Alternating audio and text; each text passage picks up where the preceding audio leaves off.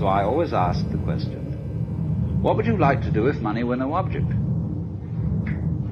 What, how would you really enjoy spending your life?